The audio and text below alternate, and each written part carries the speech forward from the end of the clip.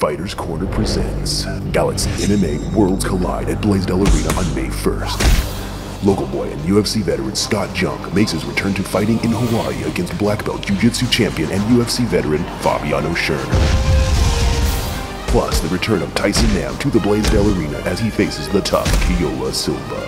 For more info, go to galaxymma.com. Galaxy MMA, Blaisdell Arena, May 1st. Be there.